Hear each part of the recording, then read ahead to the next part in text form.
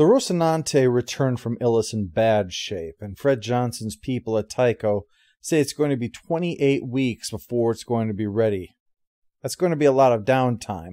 You can see why this is an ideal time for the others to deal with their various issues, which includes Naomi, but we'll get into her next time. Fred takes Holden aside to talk through all that's happened, and they get into a bit of an analogy about the settlement of the American West, covered wagons and Indians, or rather, in their case, the lack thereof. What exactly happened to them all? It's a rather frightening thought when they think about the magic bullet that Miller dealt with on Ilus.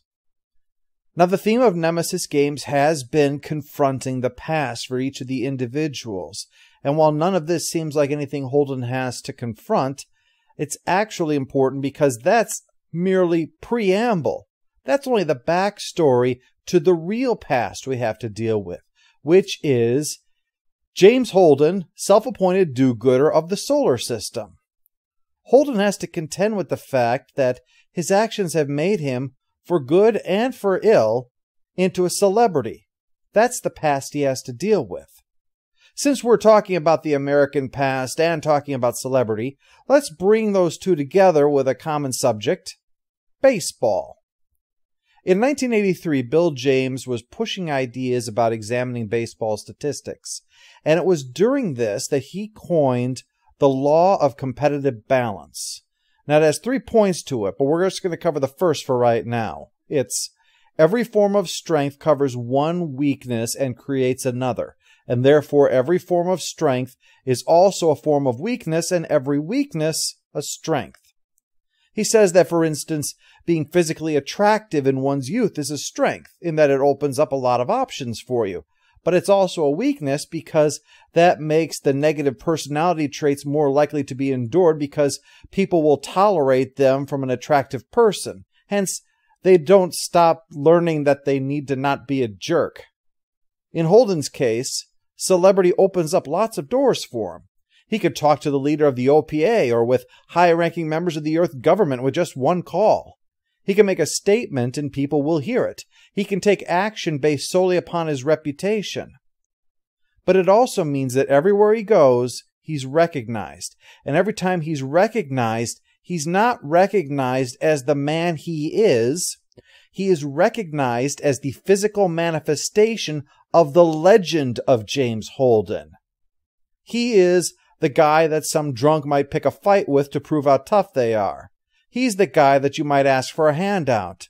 He's the guy that you ask to pose with for pictures to show your own brush with celebrity. He's the guy that you hurl a cutting word at because of his connection to something that you don't like.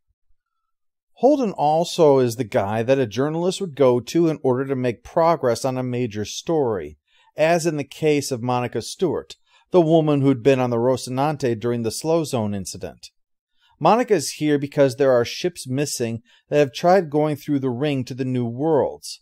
About 3%. A small sounding number, perhaps, but when the UN Navy projects only a half percent for their losses, the statistical aberration is worrisome. Monica thinks that it has something to do with the protomolecule, and she's come to Holden in the hopes that he can persuade Fred to use his sample of the protomolecule to try to summon Miller and get some answers. Holden knows that this is a non starter, but he is concerned about the problem nevertheless. The current situation for the OPA is that the colony worlds are being perceived as the death knell for the culture of the belt because they can't live down a gravity well. They call the settlement a genocide. Given that some renegade belters tried to send a ship against Earth, an old ship admittedly, but nevertheless tried, Holden wonders if someone might have been desperate enough to start stealing colony ships. He speaks to Fred about it, saying his concern is that Monica's theory needs to be deflected before it gains traction and people start panicking over more alien weirdness. But the most likely explanation would be someone on Medina is involved and Fred can't abide that thought. His entire future for the belt hinges on Medina putting him at the center of the future galactic government to make sure that Earth and Mars can't try to shut him out. If Fred's got a problem on Medina, helping the belt endure this is potentially doomed. So he asks Holden to kindly not destroy his life's work just because Holden is bored and lonely. Holden hires a programmer to start sifting all the information and trying to find new ships showing up that match old ones that disappeared, which is how he comes across a possible leak for Alex that he asks him to check out. But it's clear that Fred is a bigger problem than Holden suggested because Monica vanishes, kidnapped out of her quarters with someone on the inside covering the kidnapping up, meaning it's unlikely to be one of the inners being behind it. Monica is eventually recovered, but there's clearly a coup on Fred's hands, and soon a coordinated attack shuts down defenses while ships outside take action against Tycho Station. They're able to eventually capture the subversives, but the ships make off with the wall of Fred's office.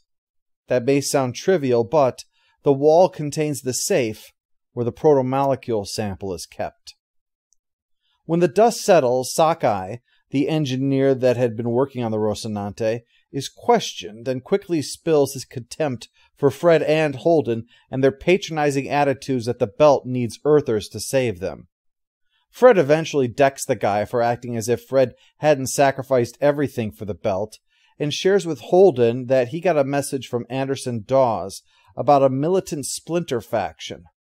Dawes is the man who recruited Fred into the OPA and is currently running Ceres, and explains that he didn't sanction what they did or approve it, but that they live in difficult times, that the militant schism are nevertheless true patriots, and that Fred can still have a place at the table if he's willing to turn Sakai over to Dawes at Pallas Station. Fred's concerned not just with all of this, but the brazenness of it, and the fact that he's not sure who can even be trusted around here anymore. That brazenness, though, that ties back again to what I was referring to earlier the competitive balance. We'll get back to that again in a moment. Monica agrees to help them with their investigation in return for an interview, and she shares info not just on her kidnapping, but also more details for the missing ships. How it almost looks like the footage is doctored the way things are going out there. But during the interview, Monica starts asking some unfriendly questions, much to Holden's annoyance. But Fred points out it's because they've kept the info on the protomolecule from her and she's not happy. So before Holden prepares to deliver Fred to Luna in the Rocinante, work has apparently accelerated to allow them to use it for what's coming up. Holden goes to sort things out with Monica. His celebrity again bites him when she throws in his face how the guy who built a reputation on openness is keeping secrets and being political, and not being subtle about it, calling him paternalistic and presumptive to keep people in the dark. Holden has finally had enough of all of this and lashes out at her that there are only two possibilities about Monica herself. Either what she does makes absolutely no difference, so her life's work is a joke, or it does make a difference, in which case she needs to start taking responsibility for how she uses and abuses her power before she causes a tragedy and pretends that it's not her fault. Before they can finish their argument, though, the message is relayed about the Rocinante from Naomi to fix the software for the magnetic bottle. It's rigged so that when the core reaches 95%, it will explode, which will take out not only the ship but part of Tycho Station. They eventually are able to locate the problem and fix it, but in so doing, they note that this is proof that thousands of accidents throughout the years could have just been revealed to have been murders. And for one final worrying issue, Medina Station has gone dark, and the possibilities for that start with bad and go down from there. But Holden agrees that right now the only thing that they can do to try to help with any of this is to follow their original plan go to Luna to meet with Avasarala and try to work through this. As Fred soon explains to Holden, using an example of Alexander the Great versus the Persians, the audaciousness of a military commander can sometimes take advantage of an opportunity and exploit it, and in fact continue to hold the enemy off balance until total victory is achieved. That might be what they're looking at here. He says, though, the one comforting thought is that there are a lot more people who have thought that they were Alexander the Great than actually were Alexander the Great. But nevertheless, this idea of audaciousness and the brazenness referred to earlier ties back into what I said about the law of competitive balance, about strengths and weaknesses. The other two points of that law are that the balances of strategies always favors the team which is behind, and that psychology tends to pull the winners down and push the losers upwards.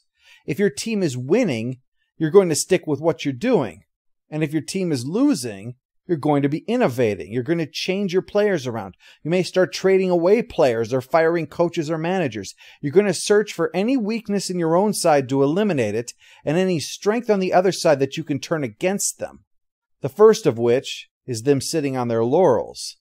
It's what allows the winners to keep a mediocre catcher because they're still winning, or normally hungry salesman to coast after a winning year because, hey, we had a winning year or victorious general to not shore up any weaknesses. The militants have seized upon this complacency to not just go after the belt, but to try to seize control of the entire solar system. And so, as Holden's forced to go out without Naomi, Alex, or Amos, Holden has found himself the captain of an entirely new team backing him up, and the hope that maybe they can help pull an upset before Marco Inaros wins it all.